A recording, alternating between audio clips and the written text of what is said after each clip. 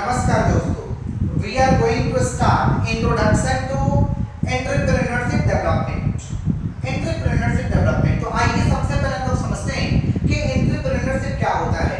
तो entrepreneurship is a process of setting up own business जब हम खुद का बिज़नेस को हम क्या कर सेटअप कर रहे हैं कुछ चीज़ को हम सेटअप कर रहे हैं इसे हम क्या कहेंगे एंटरप्रेन्योरशिप माने entrepreneurship is a process of setting up own business जब खुद का बिज़नेस को क्या कर रहे हैं सेटअप कर रहे हैं चालू कर रहे हैं उसे हम क्या कहेंगे एंटरप्रेन्योरशिप अच्छा जो व्यक्ति एंटरप्रेन्योरशिप को करेगा उसे क्या कहेंगे हम लोग एंटरप्रेन्योर ये एंटरप्रेन्योर वर्ड कहाँ से आया था French word derive from French word entrepreneur means to undertake ये आया था फ्रेंच वर्ड एंटरप्रेन्योर इसका मतलब होता है to to undertake to undertake का मतलब किसी भी चीज़ को चालू करना इस वर्ड को कौन दिया था सबसे पहले रिचर्ड कैंटिलो 1755 ईस्वी में इस वर्ड को दिया गया था।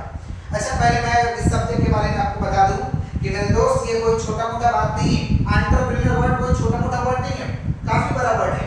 इस वर्ड को पकड़ के लोग ज़ीरो से बिलियनियर बने हैं। जैसे रितेश अग्रवाल की अगर बात करें तो उन्होंने अपने पढ़ाई ट्रेड में ही गार्ड बाँध लिया था कि हमें क्या बनना है?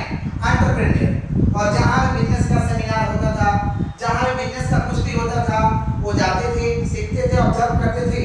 और आज इसी वर्ड को पकड़ करके उन्होंने पचहत्तर हज़ार करोड़ का साम्राज्य खड़ा किया है that is OYO Rooms that is OYO Rooms पचहत्तर हज़ार करोड़ का साम्राज्य खड़ा है तो ये कोई छोटा मोटा वर्ड नहीं है एक पास बच्चा का एग्जांपल ले लीजिए जो तिलक मेहता साहब जी है तिलक मेहता उन्होंने को पकड़ के आज करोड़ों का साम्राज्य खड़ा कर दिया।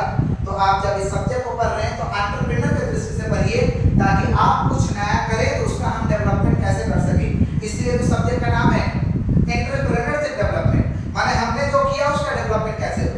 तो उस हिसाब से पढ़िए। Let comes to the topic तो एंटरप्रेन्योरशिप का कुछ हमारा एलिमेंट्स है।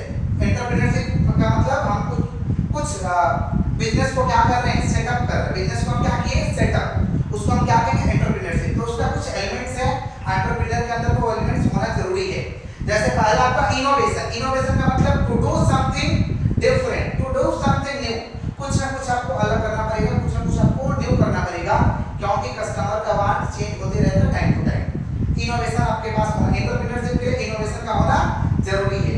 रिस्क बियरिंग कुछ भी नया हम लोग चालू करते हैं तो रिस्क तो रहता है.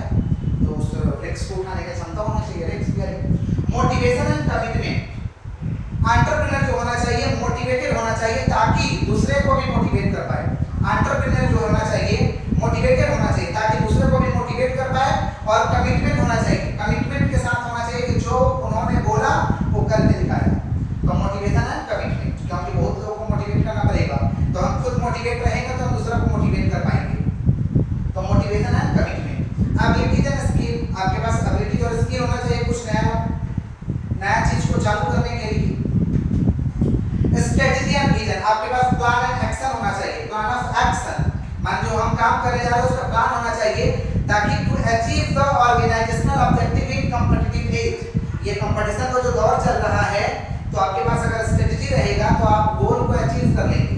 इसे कहेंगे स्ट्रेटजी विजन विजन का मतलब क्लियर कट आपका दिमाग में ऑर्गेनाइजेशन का गोल होना चाहिए यानी रोड मैप होना चाहिए कि हमको करना क्या है क्लियर कट आपको दिखाई देना चाहिए विजन ये तीन से पाँच साल के लिए होता है तो एंटरप्रेन्योरशिप को करने के लिए ये ये एलिमेंट्स आपके अंदर होना चाहिए innovation risk bearing motivation and commitment ability and skill strategy and vision अब थोड़ा सा हम लोग डिफरेंस समझेंगे कि एंटरप्रेन्योरशिप को जो व्यक्ति करेगा उसे क्या कहते हैं हम लोग एंटरप्रेन्योर और एक है एंटरप्रेन्योर तो एंटरप्रेन्योरशिप तो आइए डिफरेंस करके थोड़ा समझा रहे हैं कि entrepreneur is a person entrepreneur कौन है जी पर्सन है entrepreneurship is a process of setting up own business ये खुद का जब हम बिज़नेस सेटअप कर रहे हैं उसे कहेंगे एंटरप्रेन्योरशिप अच्छा एंटरप्रेन्योर को क्या कहते हैं? लीडर एंटरप्रेन्योर जो होता है, वो लीडर होता है।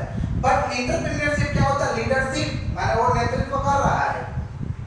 एंटरप्रेन्योर को कहते हैं इनोवेटर एंटरप्रेन्योरशिप को कहते हैं इनोवेशन एंटरप्रेन्योर को कहते हैं इनोवेटर एंटरप्रेन्योरशिप को कहते हैं इनोवेशन मैं रिपीट कर रहा हूँ डिफरेंस को entrepreneur is a person entrepreneurship is a process of setting up own business entrepreneur को हम क्या कहते हैं लीडर एंटरप्रेन्योरशिप को क्या कहते हैं? लीडरशिप अच्छा एंटरप्रेन्योर क्या है? इनोवेटर एंटरप्रेन्योरशिप क्या है? इनोवेशन नेक्स्ट हम लोग का टॉपिक है क्रिएटिविटी एंड इनोवेशन क्रिएटिविटी का मतलब होता है टू थिंक समथिंग न्यू कुछ नया हम इमेजिनेशन कर रहे सोच रहे हैं।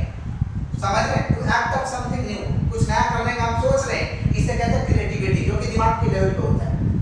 इसे क्या कहेंगे हम लोग? क्रिएटिविटी